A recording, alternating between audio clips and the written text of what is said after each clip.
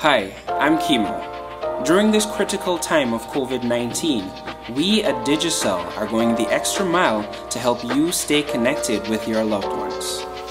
Today, I will go through a few simple steps showing you how to add credit to your Digicel number using your Scotiabank account.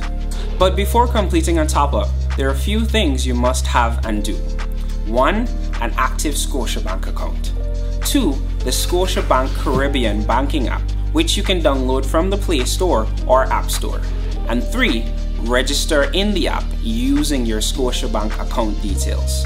Now let's go through the steps. After logging in and opening the app, select Top Up Mobile you then can choose between one-time top-up or you can add a new number. For this demonstration, we'll be using one-time top-up. After entering the number, select the mobile company, which is Digicel Guyana, then click confirm. The next step is to highlight the number you're sending the credit to and the account you're sending the credit from. You can then choose from the preset amounts or click other to enter the amount you want to send. Then click next. After verifying all of the information, you then click confirm. You will then get a confirmation pop-up showing the transaction was successful and the recipient will receive a text message when the credit is added to their account. It's as simple as that and there's no transaction fees.